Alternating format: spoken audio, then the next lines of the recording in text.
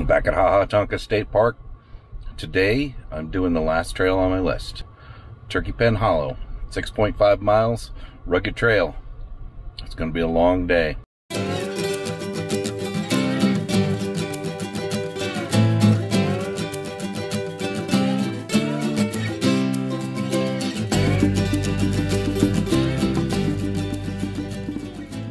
Uh, weather today, it's supposed to get up to around 90, but uh, the humidity is not supposed to be as bad, so I'm hoping it's not just a bunch of video of me panting and sweating all the time, but you never know. Um, 77 right now. I got everything loaded up. I brought a ton of water. Because the trail's six and a half miles, I'm not going to be able to easily get back to the car and resupply. So I've got lots of snacks. I got lots of water with me and my bottle of Gatorade. So I'm down here at the visitor center and I'm getting ready to head off to the trailhead. All right, here we are. Turkey Pen Hollow. You are here. Somewhere, where, am I? I'm right down, way down there. Big trail ahead today. So the parking area here is pretty nice. It's pretty busy today. Lots of cars. Um, lots of trails start from here, actually. And we've got a really nice little area here that talks about the area, talks about the trails. Um, here we start with the Oak Woodland Interpretive Trail, the Acorn Trail, and Devil's Kitchen Trail, and then Turkey Pen Hollow. It's interesting, the trail says it's 6.5 miles on the map, but it's 6.75 miles here at the trail sign. So uh, we'll see. We'll see what it is uh, when it's all done. I'm tracking it with my, my GPS watch. Looks like I'll be following red blazes today.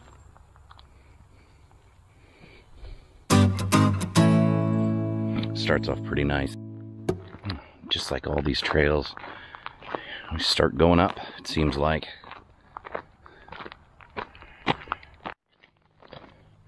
The first of my trail junctions. I continue going straight. Acorn Trail goes off this direction.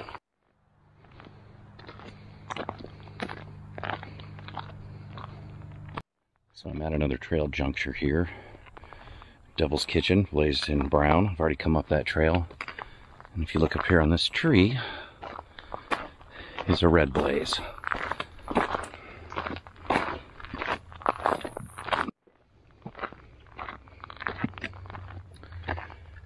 And we start right here with a, a decision to make. Now, usually the white sections are trail connectors. And it looks like I'm not sure. I already have to go to the map. Whether I follow that little trail, it would be the connector. Not sure about that one. Well, according to the map, this is a loop. So I'm going to follow down this direction. The sign is, and then uh, come back around the other side.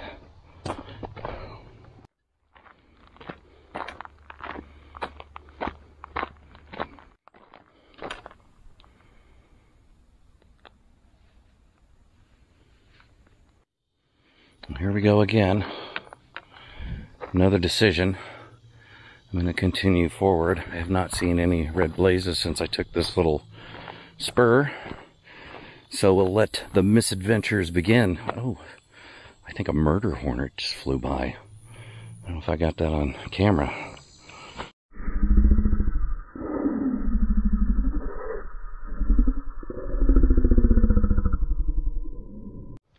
Well, it's definitely getting warmer out.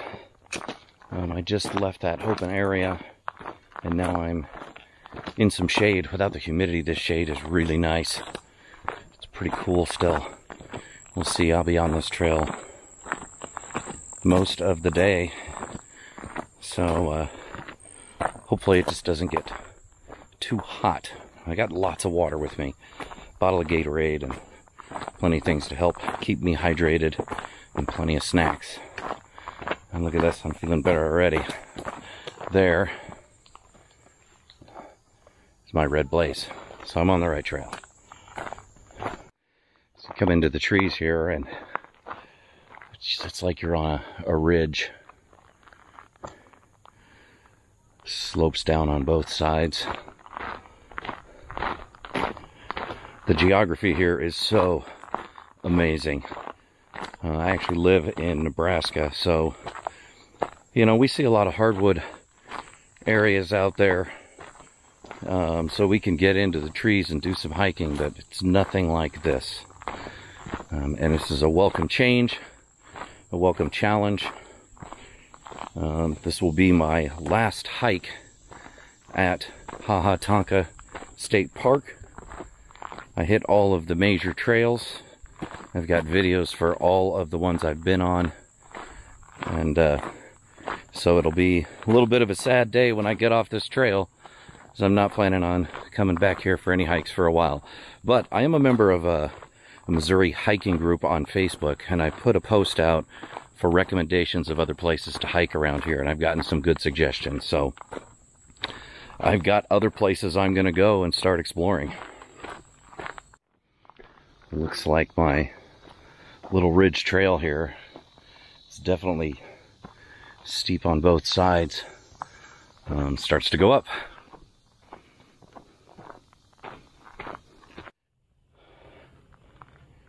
Just more switchbacks and more hills. Oh, just came from there. Now I'm heading heading up still. Every time I think I'm at the top and I hit a corner, I look and then it's up. Oh boy, good exercise. So I think I'm at the top. At least I hope so. I probably just jinxed myself, so we'll see. But it looks like it flattens out a little bit up ahead. Well, I did jinx myself. Still going up, but I'm happy about this. Still see the red blazes, so I'm on the right trail. So maybe now I'm at the top. I'm at uh, 0.84 miles, 320 feet of uh, ascension. So that's uh, that's a lot. It's almost like it's just constant uphill um, for about the first mile. But uh, stopped, got some Gatorade. Did see one other person on this trail. I continue to see the the red blazes, so I know I'm on track. So far, I haven't seen anything that they would call rugged. Uh, the island trail was rugged. And boy, in spots it was really rugged. So I'm sure I'll run into that later on on the trail. Guess I should be happy these first miles are relatively easy. If anybody's curious about the gear I'm using, brought a bigger pack. Today I have the Ibex 26 made by VanQuest. It's a 26 liter pack. Plenty of room for everything for a long day hike like this. Um, my other hikes, I've been using a VanQuest Katara 16, 16 liter pack that's uh, that's good for short little day hikes. I usually keep that in the car just for that, for the spur of the moment hikes and outings. But on a day like today, where I knew I would be carrying a lot more water and food, I thought that uh, taking a bigger pack was going to be the way to go. A nice little sign for me to tell me that I've gone one mile. Huh. Well, 5.75 to go. At least I'm on a downhill right now. Look at this view.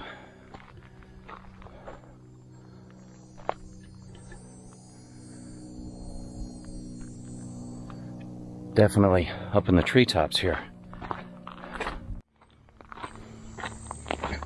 Really opens up down here.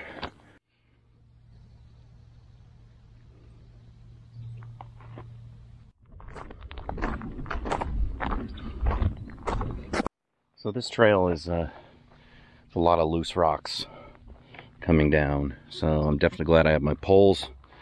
And this stuff is real pretty easy to slip on or lose your balance on. So having a trekking pole really helps keep you stable, keep you from falling down if you slip a little bit. And back down into the trees. A little shade, a little bit of a breeze, just what I needed here. There's a little rock outcropping here.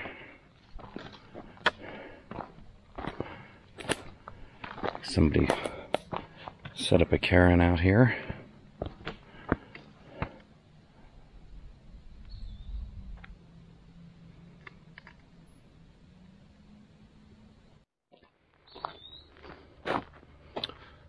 One and a half miles.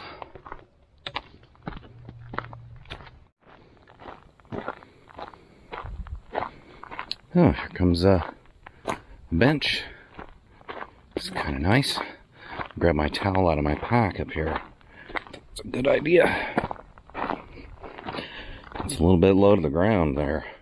All right, and there's a a connection here. I'm not sure what trail that is, but it says my red blazes are going that way.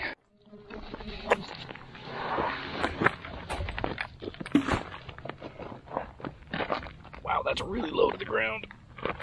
Oh, it works. Get some things tightened up here.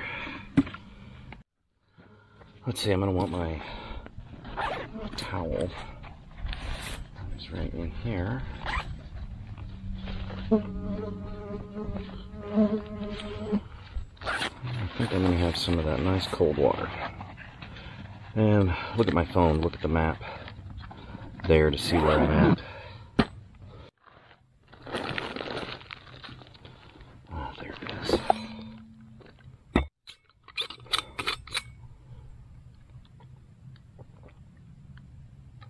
Oh, it's such a treat.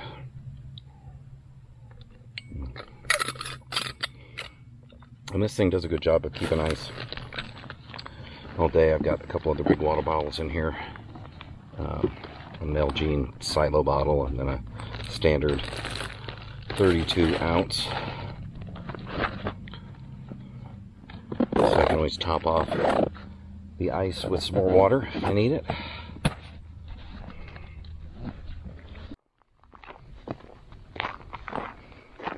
Back into the little open field here.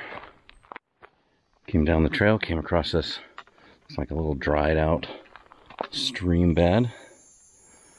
And I'm ready to go back up the trail. All right, there are three campsites out here. Campsite A apparently is down that path, if you want to call it a path.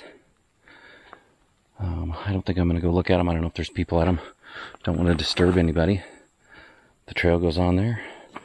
Some amazing rock formations down here. And some water as well.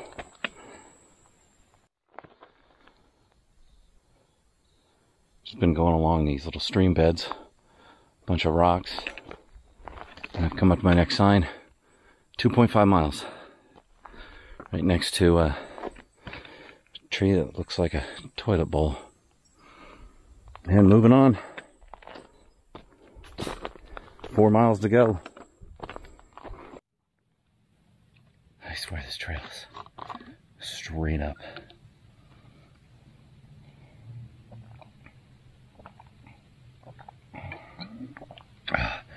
I hit another section. It's just been switchbacks and switchbacks and switchbacks.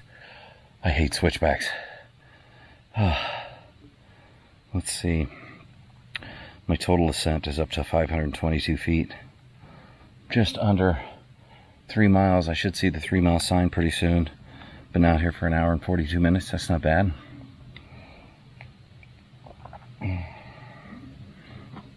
I made a couple stops uh, to have some water, take a little break. Decided I would throw out my little sit pad, sit on the rocks, wait for this breeze to come through, which is just starting.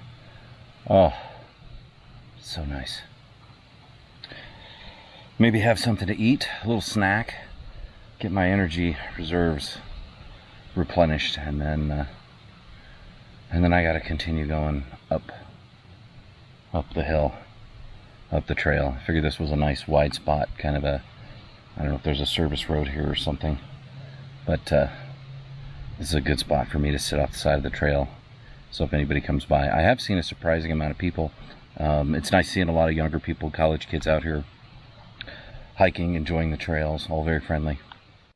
One thing I took out of this pack that I usually have in it is my hammock and my hammock straps, and I tell you, I wish I had them, but I know if I were to set up a hammock and take a little afternoon nap in the trees, I'd probably wake up at dusk. I have a long way to hike out. So it's probably a good thing I don't have it. Going through my little food bag, looking for my Rice Krispie bar. I think I left it at home. Hmm. Or maybe in the car.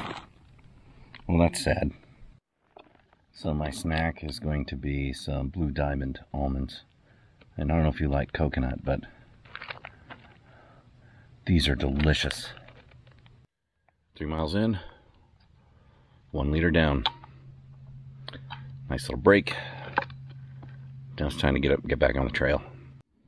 All loaded up, ready to head down the trail. Actually, head up the trail. That's how it pretty much is on this trail, all up. Fork in the trail. This must be where that service road goes off. Here's my marker. Nice breeze going through these trees. Back in the shade, at least for a little bit.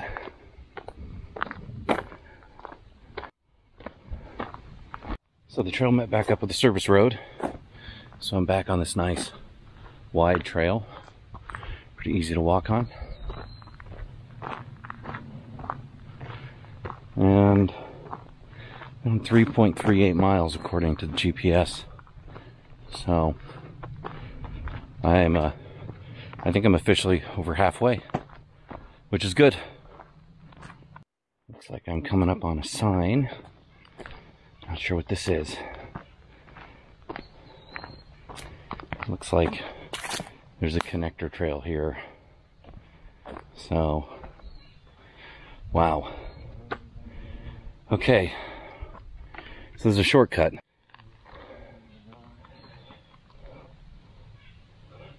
So if we take the regular trail, seven miles total, and the backpack camp is located along the way. The shortcut shortens to five mile. And you can see here on the map where the shortcut is, this white connector trail. Um, I'm not going to take that. I'm going to go ahead and take the full trail. That's what I'm here for. There's my three and a half mile sign. This part of the trail is pretty easy. Not too rocky. Can carry my poles and let my handles dry out from all the sweat from the hill climbing. And there's a nice breeze through here.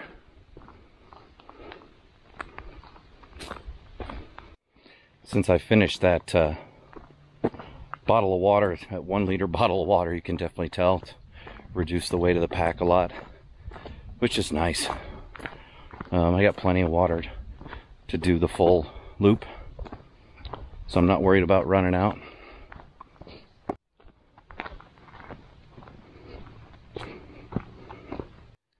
Boy, I'm uh, going down a lot here. So I'm not looking forward to having to go back up to get out of here.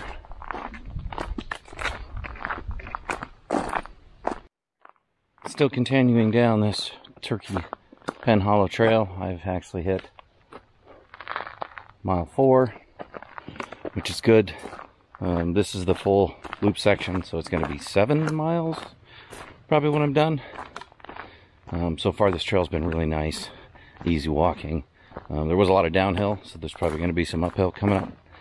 But uh, it's really nice out here. Not a lot of people on this section. We just came down a real steep hill. And here's this uh, this stream bed. Just spring-fed, crystal clear water.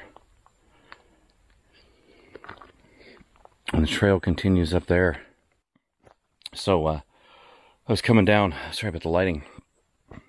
So I was coming down one of those hills and uh, boy, I needed my poles bad. um, lots of loose rock, very steep. And uh, yeah, I almost took a nice tumble down there. I planted my pole and caught myself. But I think I found the rugged part of this trail. Now to move on.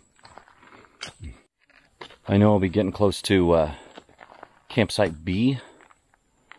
I think that's the one that's coming up. And I'm going to go ahead and uh, take a look at that. I'll take the little offshoot to go see what these campsites look like. They're pretty far back in here. It'd be a be a fun hike to camp in and stay overnight back in this area.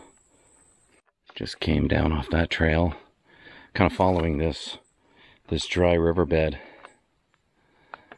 This is just so peaceful out here. These rocks, I'm sure that when this has water running, it's just right up next to these these boulders here. It's beautiful.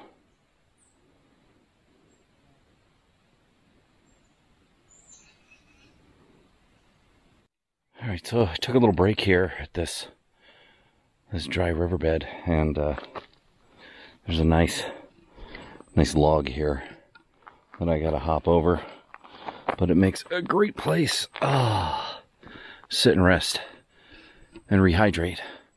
So I did look at the map, and I'm about as far out as this trail goes.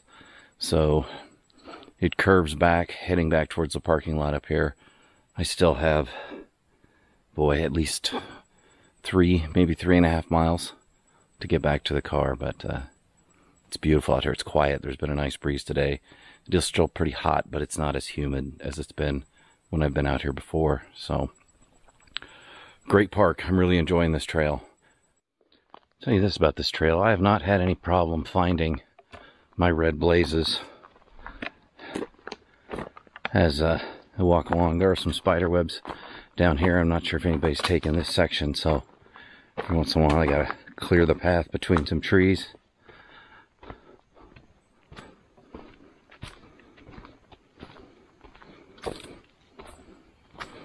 I'm far enough back here that I don't really hear any road noise or any of the boats. So that's good. It's very peaceful. Such a gentle breeze here. Coming up on another one of my signs. 4.5 miles. So if that's accurate, which I have no doubt that it is, um, seven miles total. So not much further to go, right? Two and a half miles, maybe three, we'll see. Would love to be down here if this river was flowing.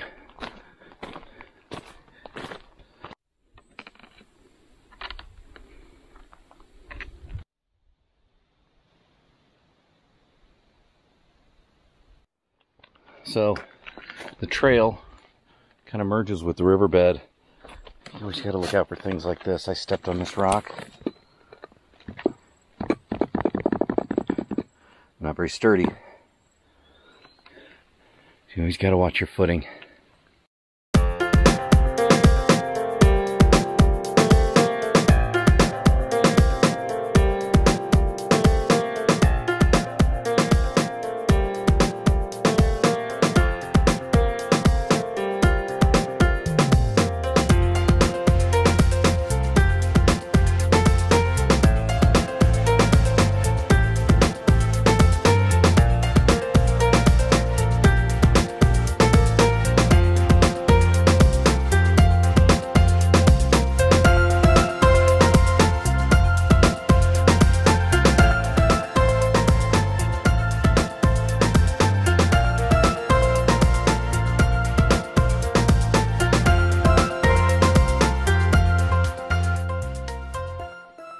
A lot of people in the Missouri hiking group, I get camping and hiking group on Facebook, have uh, have commented that this is their favorite trail, and I can see why. There's some beautiful, beautiful rock formations down here, and you're uh, you're far away from the roads and the little cove where the spring is, so you're not constantly hearing boats and cars.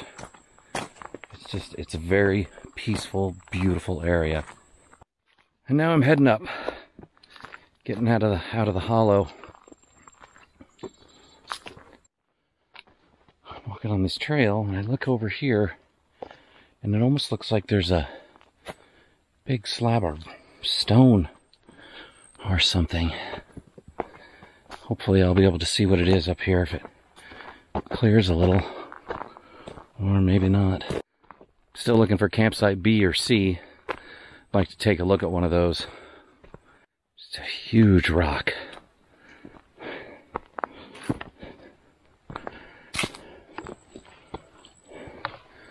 Another dried up little stream bed. I would say this is a rugged section of the trail. I do a little climbing to get up there. I almost missed this one. Five miles.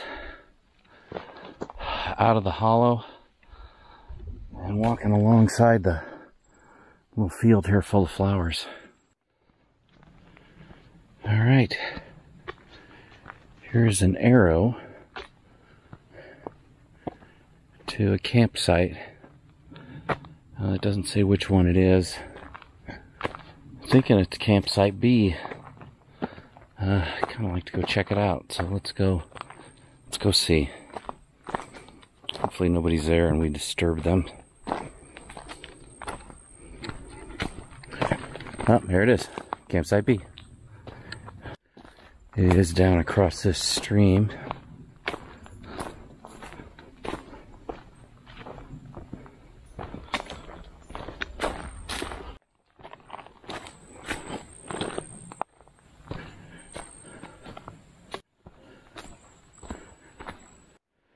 Well, it's a ways back here. Lots of spider webs back here. But this is nice. Look at this. Big open area. Campsite B. There's uh, rocks to sit on. Nice flat area for a tent. Uh, nice fire pit. Um, and if there was water in the stream, you'd have a water source. That's nice. I think I'm going to sit here and rehydrate while I'm here. Campsite B. Um, pretty nice. Nice little area. Boy, you could put, I don't know, three or four tents back here, I think. I'm not sure what the restrictions are on it. Big fire pit. Um, nice little open area. There is that dried stream right by here. It'd be nice if there were water in it, but this is nice. I'm going to rehydrate before I trek back out to the main trail. Also look at the map before I go. I had to open up my big silo bottle from Nalgene. 48 ounces of water. So just starting on this one. One thing I have noticed here about this campsite is I can hear the breeze. And I look up and I see the trees moving, but you can't feel the breeze down here. Time to leave campsite B. Rehydrated, took a look around. Very nice area, nice campsite. And uh, I got to make my way back to the main trail. And it's uphill, of course. And back to the main trail here after visiting campsite B. So, I'm going to continue on, make my way back to the car. I know there's a third campsite, campsite C, which should be up here between me and the parking lot. And I don't think I'll go in and look at that one. I'm sure they're all about the same. Just came up a little bit of a hill there. Goes back down, you can see the trail goes all the way up there. I'm not looking forward to that.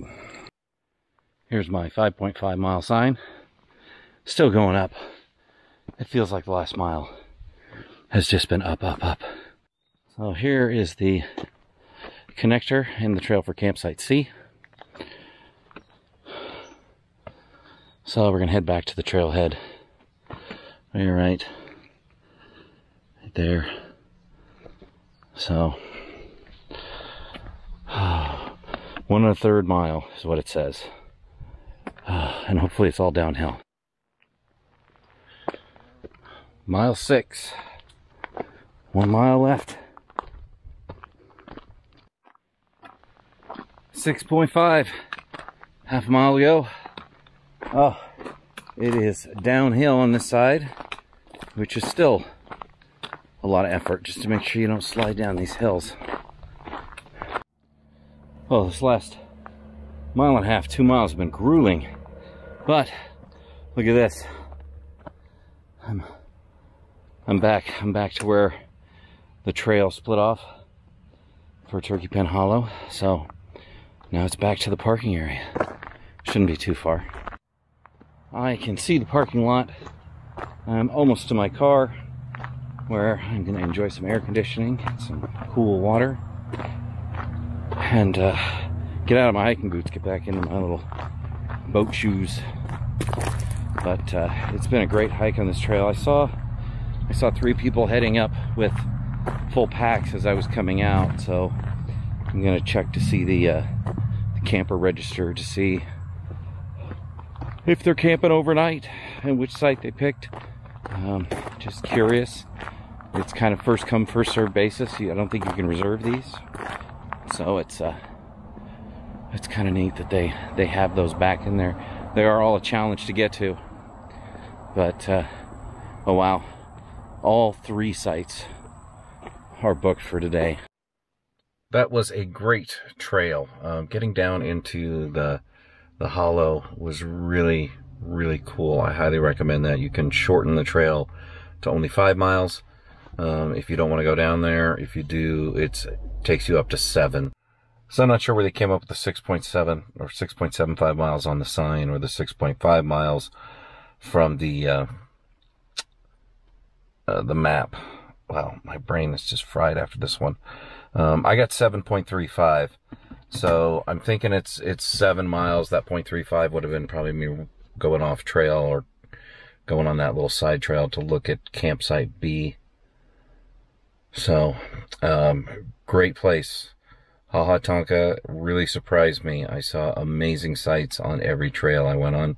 Um, if you haven't seen my other videos in my series of my misadventures at Ha Ha Tonka State Park, I highly recommend it. I think it's uh, it's good stuff. It gives you a good view of uh, what it's like to be out on those trails and what things you're going to see. So thanks again for watching, everybody. I really enjoyed making this series. And uh, remember to like, comment, and subscribe. Thanks.